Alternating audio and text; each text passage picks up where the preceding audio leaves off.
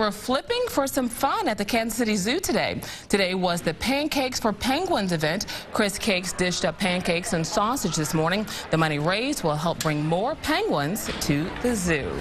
And of course, today was a great day to go to the zoo because it was so beautiful out there. It's, it's just, um, I'm almost mad that we had to work today because it's so nice outside. Yeah.